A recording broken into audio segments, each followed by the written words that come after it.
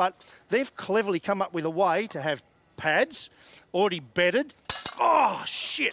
That- that- that- did I say shit? Sorry.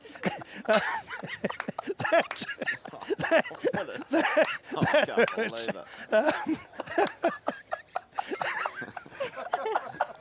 Oh, okay. Do you, rem- Skaife, you remember the last time we did this brake pad thing a couple of years ago? Went wrong then as well. where was I? Do you remember, do you remember where I was?